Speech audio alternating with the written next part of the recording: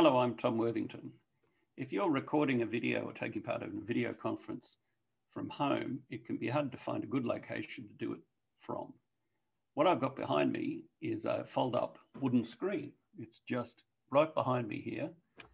Um, that blocks off everything else in the room, which is fine, um, but it doesn't look very corporate.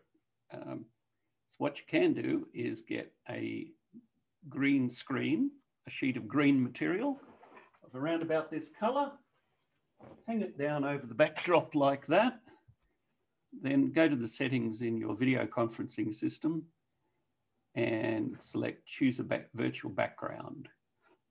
Um, I've got one here of a classroom, which I blurred slightly. So if I just turn it on, that appears instead. Uh, I blurred the background so that it makes the foreground stand out more and the viewers don't spend a lot of time wondering who those people are, what's on that computer screen, and so on. The focus comes to the foreground. The advantage of using a screen like this is it's much easier for the software to select the color because the background is a uniform green color that doesn't normally appear.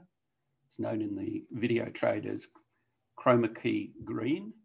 You can buy special sheets that color and paint, or you can just go to your hardware store or wherever you buy material from and buy a few meters of something which is around about the right color.